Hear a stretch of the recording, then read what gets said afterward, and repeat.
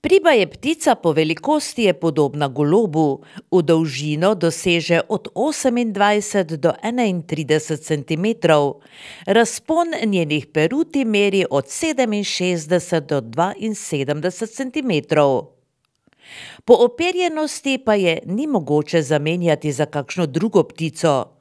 Po telesu ima črno-bel vzorec, pri pogledu od bliže pa se perje na temnem zgornjem delu telesa preliva v modrih in vijoličnih odtenkih. Že na daleč je prepoznavna tudi po dolgem, ozkem čopu na glavi. Njeno življenjsko okolje oziroma domovanje je kmetijska krajina. V Sloveniji je približno od sedemsto do tisoč parov, ki gnezdijo na območjih Ljubljanskega barja na Goričkem in na območjih Dravsko-Ptujsko-Središkega polja.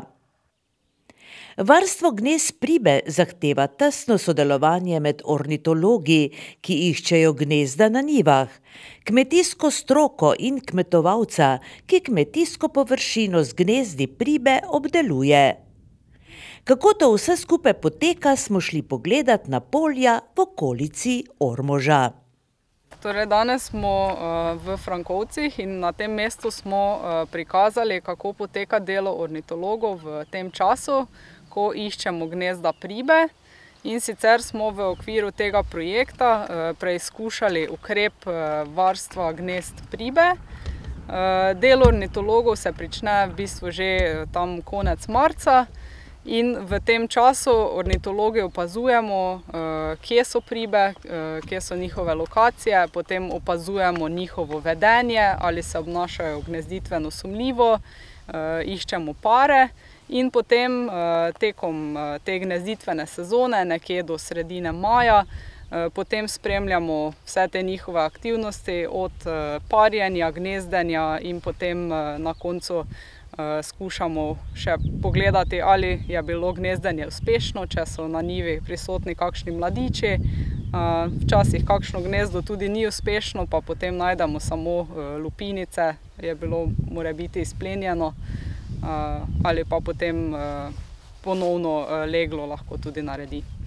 Torej opazujemo najprej s teleskopom in potem, skušamo, na podlagi vedenja pribe, torej če opazimo, da na enem mestu sedi zelo dolgo, potem skušamo razbrati, ali verjetno gnezdi, in potem se temu gnezdu, na podlagi te lokacije približamo in ga označimo s štirimi palicami, nekje diagonalno, enkrat en meter.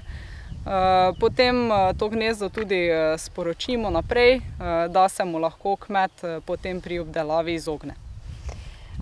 No, recimo, kako pa poteka to parjenje, recimo, ko se sprehajate pač po kmetijskih površinah, kje torej opazite, na kakšen način opazite torej, kje te, kje bi se naj te ptice nahajale? torej ptice letajo po zraku, par, ga opazimo, da, leta v neki določeni formaciji, ki ga lahko pač prepoznamo kot paritveno vedenje, pri tem se pa tudi značilno oglašajo. Kako potem dalje to vse skupaj poteka, potem, uredita gnezdo verjetno par, ne? tako, samec ponavadi, s prsi, s prsmi naredi jamico, v katero nato položita material, v katerega potem priba odloži, ponavadi so to štiri jajca. Zdaj za kakšno nadomestno gnezdo je potem tudi, kakšno manj, ampak tako najbolj standardno število jajc je potem štiri. Sedi na jajcih približno, dvajset do štiriindvajset dni, potem pa se izležejo mladiči. Kdo jo hrani ta čas? To ste verjetno tudi opazili.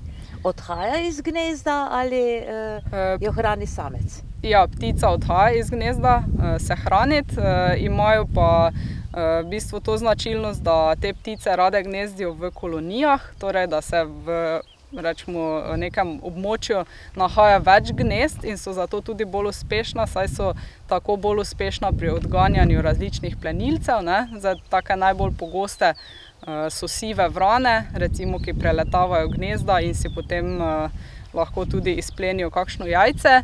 Ampak so, pari s svojim oglašanjem in svojim, obnašanjem, pri tem odganjanju zelo uspešni. E, no, potem, ko se zvalijo mladički, kdo pa jih vzgaja, torej, kdo jih spravi torej, na pot? Uh, v bistvu, ja, mladiči so že, v bistvu, odkar se zvalijo, so potem dokaj samostojni, saj jih samica jih ponavadi odvede na bližnji travnik ali pa nivo z kakšnim ozimnim žitom, torej da se lahko v vegetaciji skrijejo, se pa potem že tako od začetka prehranjujejo sami. Eh, kako, koliko krat gnezdijo letno? Eh, tukaj pri nas gnezdijo enkrat, eh, sicer so salivke, ne, tako da jih potem čez zimo tukaj ni. Zdaj gnezdo običajno naredijo eno, kot pa sem že omenila, pa lahko naredijo tudi nadomestno gnezdo, v primeru, da je bilo prejšnjo uničeno zaradi izplena ali zaradi kakšnega drugega dejavnika. Projekt varstva pribe in njenih gnezdišč koordinira e-zavod Ptuj, oddelek za varstvo narave in energetsko trajnost, ki je tudi vodilni partner Evropskega inovacijskega partnerstva Vivek. Med ostalimi partnerji v Sloveniji pa so tudi Kmetijsko-gozdarski zavod Ptuj, kmetijsko podjetje Jeruzalem Sad Ormož, kmetija Metličar iz Cirkovec in občina Ormož. Posebno vlogo v projektu ima Kmetijsko-gozdarski zavod Ptuj, kmetijsko-svetovalna služba Ormož. Kmetijska svetovalna služba je potem, rekel, ves med uh, e-zavodom, pa potem tudi med kmetijstvom in gospodarstvom. Tako da smo potem, eh, ko so našli ornitologi ta gnezda, ptice pribe, ki se pojavljajo na tem našem področju, potem mi postavili kontakte z kmetijstvom in gospodarstvom in potem povedali tudi pomen, bom rekel, varstva gnezda pribe. Moram reči, da tukaj smo imeli zdaj pet kmetij, eh, na katerih so potem našli ta gnezda. Nažalost se je samo ena kmetija odločila za varstvo te eh, gnezda pribe. Moram reči, da kmetija ne rabe kaj nekaj dosti storiti, bo rekel, zato da varuje to gnezdo. Ornitologi označijo z štirimi količki to gnezdo, to je bo rekel meter pa pol, meter pa pol, da so štiri količke, to je par kvadratnih metrov. Kmetija prevzame obveznosti, da do 15. 6. tega dela kmetijskega zdališča ne obdeluje, tako da potem s svojo kmetijsko organizacijo ne uniči gnezda pribe. Sveda druga naloga je pač kmetijskega gospodarstva, da potem dokaže, da je to gnezdo tudi varovala, tako da mora narediti dva posnetka, dve fotografiji. Prva fotografija se naredi takoj po spostavitvi zakoličbe tega gnezda, oziroma najpozneje teden dni. Seveda drugi posnetek pa se potem naredi 15. junija in najpozneje do 20. junija in se potem oba posnetka pošljeta na agencijo za kmetijske trge, da se dokaže, da je potem bilo to gnezdo varovano. Seveda, če potem kmetija želi pridobiti sredstva, pridobi se 200 evrov na gnezdo pribe, mora ob zvirni vlogi potem tudi podati zahtevek za izplačilo tega zahtevka za varovanje gnezda pribe. Eh, kakšen pa je pravzaprav postopek? Ne? Nekdo, eh, dobro, orientologi so sami seveda iskali ta gnezda. Eh, kaj pa, ko nekdo sam odkrije? Pride k vam, torej oglasi se najprej pri vas ali kako? Tako, če kmetijsko vrsta samo odkrije gnezdo, lahko tudi javi nam, lahko direktno ornitologom mi če seveda javi nam, potem pokličemo ornitologa, potem gre na tisto nizko površino, označi gnezdo, to so potem spet enak, da se potem varuje to gnezdo, da se poslika in seveda potem, če želi pridobiti sredstva, lahko potem tudi pridobi ta sredstva. Tako da večinoma kmetijska gospodarstva, na kateri se najdejo ta gnezda, seveda se tudi strinjajo s tem, da potem obvarujejo ta gnezda. Celo so nekatera kmetijska gospodarstva rekli, da bojo varovali ta gnezda, tudi če ne dobijo domenih sredstev. Kako pa se občina vključuje v ta uh, ukrep? Ja, občina Ormož je kmetijska občina in kmetijski prostor zagotavlja na eni strani tako pridelavo hrane kot prve namennosti kmetijskega prostora, na drugi strani pa je kmetijski prostor tudi prostor za prosto živeče živali, ki so z intenzivnostjo kmetovanja kakorkoli ogrožene. V našem primeru je občina videla priložnost, da se vključi in spodbudi tudi naše okolje k pristopu kmetovanja, ki zagotavlja večjo biodiverziteto kmetijskega prostora. Glede na dejstvo, da imamo v našem prostoru Ormoške lagune kot naravni rezervat, ki na površini 55 hektarjev zagotavlja poplavne območje in poplavne gozdove za številne vodne in druge ptice, se je nekako samo po sebi samoumevno bilo tudi to, da se vključimo v ta projekt. V dveh letih smo z srečanji na terenu, na Ljubljanskem barju, na Dravskem polju in Goričkem, poiskali primere dobrih praks, s katerimi so kmetije pristopili k oblikam kmetovanja, ki zagotavljajo za te živali ugodnejši prostor za njihovo preživetje. Ne na zadnje, številni travniki, ki so intenzivno izkoriščani, so na eni strani velik vir hrane, na drugi strani pa omejenost prostora za številne živalske vrste, ki so opraševalci številnih rastlin, ki nam dajo hrano.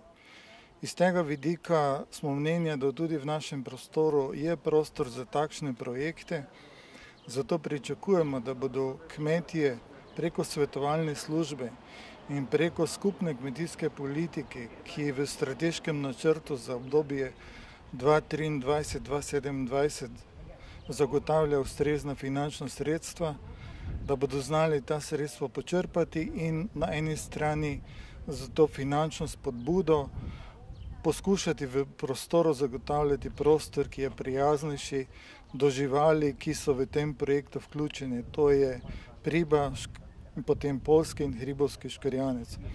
Pripričan sem, da glede na to, da je v tem projektu vključen naš največji kmetijsko gospodarstvo Jeruzalem Sade DOO, da bodo po njihovem zgledu se še tudi drugi vključili in videli v tem neko okolje prijazno kmetovanje in ne na zadnje tudi občutek, da so za sebe in za svoje nanamce naredili nekaj koristnega. Kmetijsko gospodarstvo, ki se odloči za upis ukrepa za pribo in ji s tem omogoči varno vzrejo mladičev, dobi odškodnino v višini 200 evrov za gnezdo. Njegova naloga je, da se pri obdelavi površin izogne gnezdišču, ki so ga zakoličili ornitologi. Vaše podjetje je eno izmed tistih kmetijskih podjetij, ki so tudi vključeni v program varstva pribe. Zakaj ste se pravzaprav odločili biti zraven? Ja, časi so pač takšni, da je varovanje okolja, varovanje ptic, varovanje na vse zadnje živali postalo vedno pomembnejše, ker eh, narava na vse zadnje zginja in pač eh, želimo imeti nek vse majhen doprinos k eh, varovanju letega, tudi mi kot podjetje. Kako se boste lotevali tega, kako ste pravzaprav pristopili k temu praktično? Ja, mi smo se pač odločili, da, da, bomo, da bomo del naših površin namenili opazovanju ptic in, in pač bomo tam, kjer se pač ta priba pojavi, bomo te, teh, teh površin ne bomo obdelovali, ampak bomo jih pustili, dokler ne odgnezdijo svojega. Ne. To pomeni, da vam je ukrep kar pisal na kožu. Ne? Kako ste to, kakšne nasvete ste torej tistim, ki hodijo oziroma delajo na poljih, eh, dali? Ja, mi nekših na svetu določenih glih nismo dovali, je pa tako, da nekako eh, pustimo vsem živeti, rečemo je najboljše, najboljše povedano. Ne? Eh, tako si mi vsi skupaj želimo svoj plac pod soncem, naj imajo tudi eh, živali svoj plac. Dejansko je na vaših poljih bilo najdenih največ teh gnez, ne? Veste morda, koliko je teh gnez? Zdaj, natančno jaz to ne vem, to vejo bolj strokovnjaki. Eh, vem pa, da je bilo kar nekaj gnez najdenih na teh. Sem Petra Metličar, k projektu sem pristopila kot mlada prevzemnica kmetije, ki obsega 24 hektarjev površin na Dravskem polju. Odeležila sem se usposabljanja in potem sem praktično preizkusila ukrepe za ohranjanje polskega škarjanca in pribe ter kratkotrajno vzpostavila praho z minimalnimi prilagoditvami nam je uspelo uspešno zaščititi gnezdišča plip z spostavljanjem zaplat na njivah, pa smo pripomogli k boljšim pogojem za preživetje polskega škarjanca, tako da v bistvu se z minimalnim trudom da živeti v sožitju z naravo. No, v vsakem primeru se gre torej za varovanje narave ne, in seveda življa v naravi, eh, pa dobro tudi subvencija ne, oziroma nadomestilo nekaj prinese. Ne. Seveda, eh, tudi nadomestilo je bilo, sedaj je v bistvu že tako imajo nov projekt z kmetijskega ministrstva, ki še je v bistvu bolj ugoden za vse, ki imajo gnezdišča na svojih površinah, tako da v bistvu ni doben bav bav bi jaz rekla. E, kaj bi svetovali tistim, ki torej še dvomijo, ki se e, v projekt oziroma v ukrep niso vključili, nekako ni najbolj, e, niso najbolj navdušeni kmetovalci? Ne? Ja, jaz bi jim svetovala to, da v bistvu se naj ne bojijo, naj se vključijo, ker edino njihovo delo, ki je, ko najdejo uh, gnezdišče, je, da slikajo, sliko pošljajo naprej, In to je to, potem pa v bistvu vse, kar morajo, da se izognejo gnezdišču, ko delajo na njivah. Do meseca maja je v Sloveniji bilo najdenih 189 gnezdišč pribe. Od tega je samo na Dravsko-Ptujsko-Središkem polju bilo najdenih 138 gnezd. V Evropi od leta 1980 število prip nenehno upada in se je zmanjšalo za 55 odstotkov. Zato priba spada med ogrožene vrste ptic. Tudi zaščita pribe je projekt Evropskega inovacijskega partnerstva Vivek, ki je sofinanciran iz programa razvoja podeželja Republike Slovenije od 2014 do 2020 in Evropskega kmetijskega sklada za razvoj podeželja v okviru ukrepa sodelovanje pod ukrep M16.5 okolje in podnebne spremembe.